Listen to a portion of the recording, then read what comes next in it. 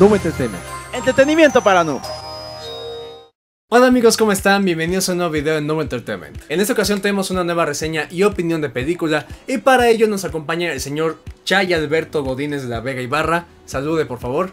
Hola amigos, gracias por venir. Y hoy toca hablar de una película belga llamada Le Fidel, si es que se pronuncia así, o en español Perseguidos por el Destino.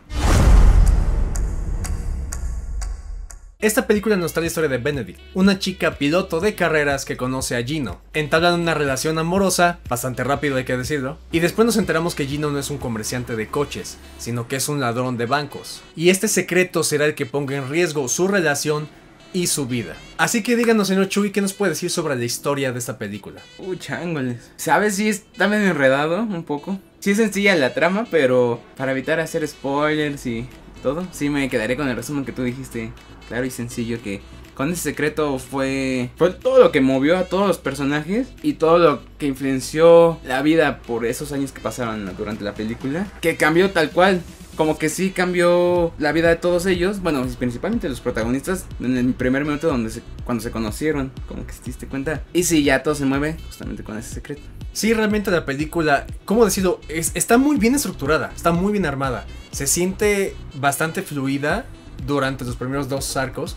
Yo decía, yo, yo, yo, yo, que ya el último acto como que ya fue más improvisado. Para mí podrían haberla terminado en cierta parte, o sea, al final del segundo acto. Aunque yo lo diga así, sé que lo pueden entender.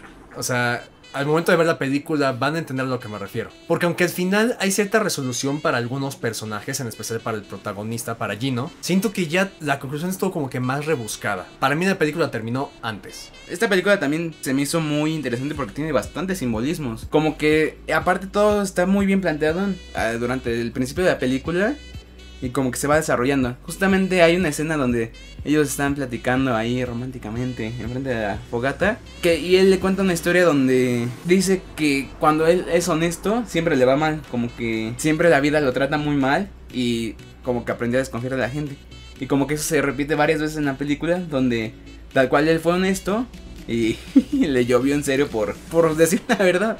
Bueno, ah, bueno, a pesar de que todo eso es consecuencia también de sus propias mentiras, ¿no? El protagonista es muy mentiroso, eh, basa mentiras como que va armando su vida y después cuando quiere salirse pues ya no encuentra cómo. Y sí, justamente como que esa única salida era siendo honesto, pero no le creían porque pensaban que era una más de sus mentiras. Es aplicándole a Pepito y el Lobo. Sí, ciertamente este tipo de simbolismos que encontramos son parte del desarrollo de los personajes, digamos. Y tienen como que relevancia a lo largo de toda la película. A pesar de que sienten que ciertos detalles al principio son como, que no son importantes, más adelante vamos desarrollándolos más o se nos va aclarando por qué dijeron esto o por qué hicieron esto. Un ejemplo a lo mejor podría ser también de los perros, ¿no? El protagonista, desde el principio, en los primeros minutos vemos que el protagonista tiene miedo a los perros. A grandes rasgos la película es mucho drama, un poco de acción, ¿sí? Y no sé si, o sea, no sé si realmente entretenida sería la palabra, pero vaya, o sea, no aburre, realmente te quedas picado viendo cómo los protagonistas van a resolver su vida. Sí, como que poco a poco te va metiendo y no puedes dejar de ver porque es como, ¿y ahora qué sigue? Y ya pasó esto, ya les pasó todo esto, ¿y ahora qué? Siento que no podemos profundizar mucho con los personajes porque llegaremos a algún spoiler. Yo solo diré que están bien armados. Siento que aún falta algunas cosillas de Gino sobre cómo terminó de esa manera en su vida, siendo un ladrón, vaya, porque se nos habla de que desde el orfanato, porque es huérfano, eh, surgió esta idea. Pero como que, no sé, su, su justificación de que no sé por qué hago las cosas o de que esto me llena de emoción, como que no me basta, me falta un motivo más. Benedict se me hace más sencilla, pero bien elaborada, aunque su resolución, repito, no me gustó. Ya se, se me hizo demasiado para la película. Yo podría resumir esta película que y el mensaje que dice, el que ama demasiado está destinado a sufrir, la vida les va a hacer sufrir el doble. Y no solo eso, o sea, simplemente es como de, por amor hacemos tantas cosas nos atrevemos a hacer tantas cosas, queremos cambiar, pero pues también hay que saber cómo escoger el momento adecuado, ¿no? Sí, y todas las complicaciones que va a tener, a quienes te vas a echar, te vas a llevar de corbata, a quienes les vas a complicar la vida, sí. Y ahora sí que la indecisión de Gino, al no saber en qué momento temprano hacer esto, pues fue lo que lo llevó a tanta desgracia, ¿no? Pasando con otro tema, tenemos eh, efectos especiales, fotografía. ¿Qué nos puede decir de esto, señor Chuy? Honestamente, de efectos especiales, siendo una película europea, no sé si tenga tantos. Porque bien que mal tienen todos los escenarios ahí. Y pues, tienen bastantes prestaciones para grabar en esas ciudades. Entonces creo que no, no se vieron en la necesidad de usar efectos especiales. Y si sí, muy sutiles y muy cortos. Que era nada más para complementar la trama. Sí, es como las ciertas escenas de acción que tienen, ¿no? Que realmente son como que pocas, pero tampoco es como que hayan requerido de mucho, o sea, ni siquiera requieren de CGI, por ejemplo. Sí, pues no vemos justamente los perros que podrían prestarse para eso. Que si son perros de verdad. Podría ser lo mejor entrenamiento, este, tanto de personajes como de los animales, ¿no? Maquillaje, Maquillaje, también. sí. Sí, en cuanto a la fotografía me encantó, me gustó mucho. Sí. tiene como un porqué, me encantó cómo jugaron con la luz, dependiendo literalmente cómo estaba la pareja. El momento, cómo estaban ellos y cómo jugaban en cuando el ladro de persona llegaba, no sé, no sé si te diste cuenta que sí cambiaba. Y al principio también que la imagen se veía granulada y eso como que dio que era eh, como un flashback se podría decir. Ujú. Simplemente las tomas que había, Mm, como dices, de los protagonistas, por ejemplo, cuando están en un momento íntimo eh, o cuando están discutiendo, cuando están, no sé, salen a algún lado y se ve la ciudad, el paisaje, a mí me pareció muy, muy, muy padre. Sí, curiosamente te hace sentir lo que ellos están sintiendo, literalmente. Ujú. Tanto como con la corrección de color como con la fotografía, sí. Te meten a ese mundo, es como ellos están tristes, melancólicos, felices, eh, extasiados, hasta excitados podría ser. Y, y Escenas ahí, ajá, y ahí estás. Y sí, usaron como tomas, siento que ya como clásicas del cine europeo. No me acuerdo, una película ahorita sí les falla amigos, pero que usaron la cámara cuando manejaban y se veía todas las calles, la ciudad. Ajá, en primer plano. Ajá, literalmente, y sentías tú que ibas manejando, güey. Sí.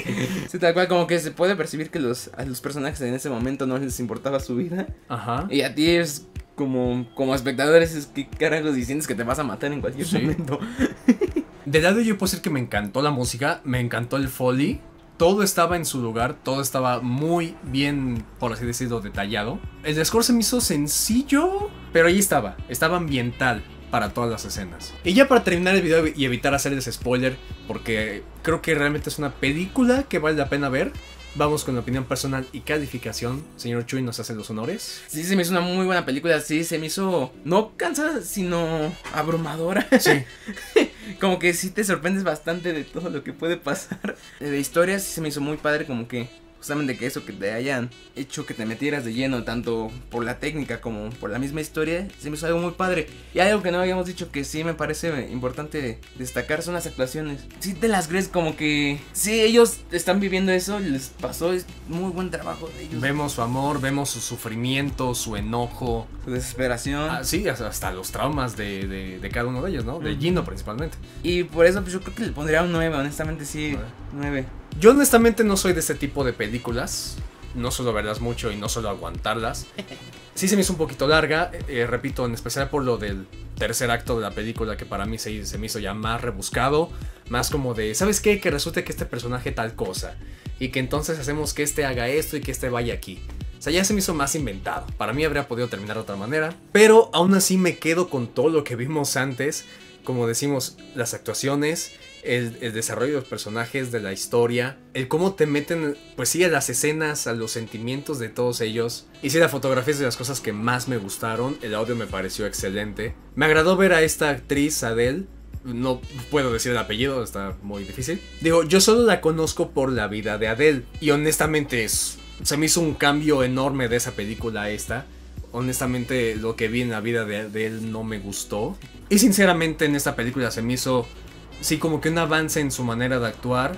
Una madurez, ¿no? Eso que iba a decir, sí, sí, no solo del personaje, de ella como actriz. Y el actor Matías que interpreta a Gino, insiste en que lo he visto en otro lado, pero no, no, no, no, no logro recordar en dónde. Pero siento que realmente sabe expresarnos lo que piensa, la manera tan curiosa que tiene el personaje de pensar, de actuar, y por los traumas, el drama que hay en la película, realmente te llega, te llegan sus sentimientos, vaya. Voy a tratar de ser este objetivo, porque sí, como dije, simplemente por este último acto, como que para mí la película pierde mucho crédito. Yo la voy a dejar con un 8.5. Para ser una película que de las que no suelo ver, me gustó bastante, me metió mucho en ella y yo sí la recomendaría. Y eso ha sido todo por hoy, espero que les haya gustado. Si fue así, no olviden darle manita arriba, comentar, compartir y suscribirse para nuevo contenido. Darle la campanita para que les avise cuando subamos nuevo video. Y seguir en nuestras redes sociales, Facebook e Instagram y una que otra red personal que vamos a dejar por aquí. Y ya sin nada más que comentar aquí me despido, yo soy Dado Fonseca. Yo soy el señor Chuy Chayo, como prefieran. Y nos vemos en el próximo video. Hasta luego.